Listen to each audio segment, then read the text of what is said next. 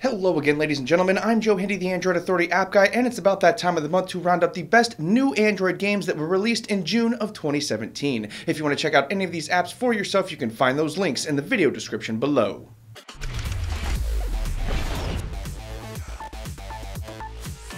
Adobe Scan is a new document scanner app. You can use it to scan all kinds of documents, and that includes receipts, forms, images, business cards, and more. The images are saved as Adobe PDFs, and from there you can email them or do whatever you need to do. It also comes with enhancement features such as cropping, rotating, and there are a few white balance presets to help make the document look cleaner. It's currently free to use, although we don't know if it'll remain that way forever. It is pretty decent, although there are a few bugs.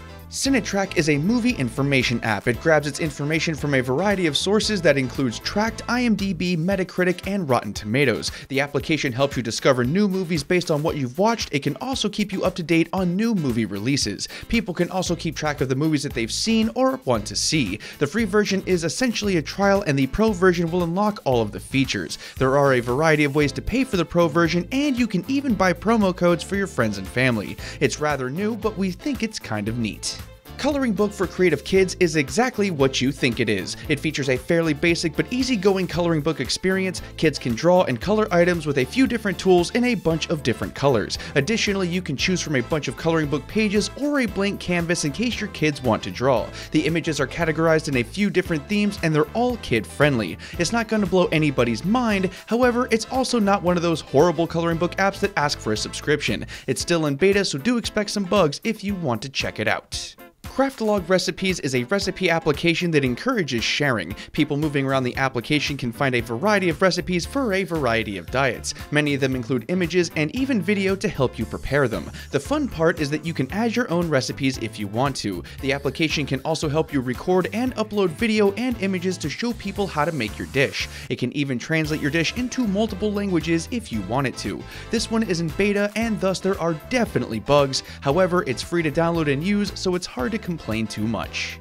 FaceSwap admittedly isn't the most interesting application that we've ever talked about. It does work pretty well though. It allows you to swap your face onto somebody else's body. The application developers swear that this is good for some actual uses. You can see what you look like in a new outfit or with a new hairstyle. It'll also let you swap faces into virtually any picture, and you can even put your head on a statue, and the application can switch the skin tone to match the statue's texture. It works really well, and it's actually a lot of fun. It's also free to use. Fenix 2 is the sequel to one of the most popular Twitter apps ever. This one features a cleaner interface, a simpler experience, and some decent features. You can customize your main page with things like lists and save searches for quick access, and it also has themes as well as a mute system that works for hashtags, keywords, and other Twitter users. It had a few issues when we tried it out, however, we expect that they'll be patched before its official release. Did we mention that this one's in beta? It's free for now, but the final release will be a paid app.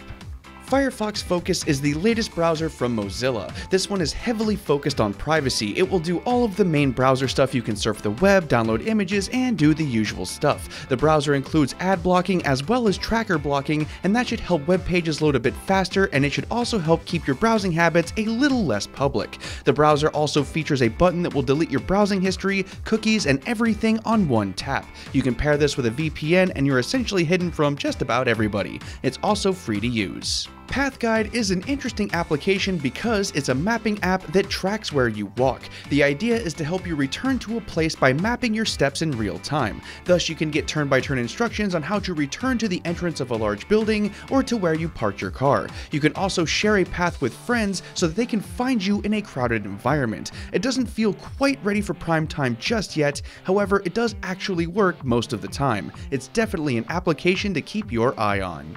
Timbre is a rare find in the mobile apps world. It's an MP3 converter and editor. It's not overly powerful, you can do the basic things like cut audio, join two audio files together, and convert them into a few different codecs. You can also split audio tracks into multiple files if needed. This works great with most small form audio, we would even recommend it for basic professional use. It's not Audacity, Reaper, or Adobe Audition, but it's among the best apps like this on mobile that we've seen in a long time. It's also free with no in app purchases or advertising.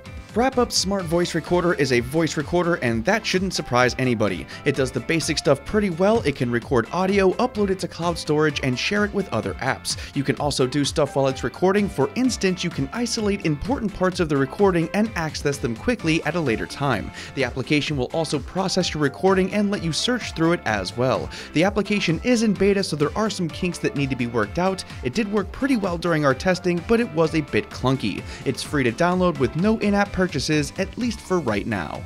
And that about does it for this one, folks. Don't forget to subscribe and ring the bell to get the latest Android Authority videos as soon as we release them. All of these apps are linked up in the video description below if you want to try out any of them for themselves, and we have more app lists linked up there on the screen. As always, thanks for watching, everybody, and have a wonderful day.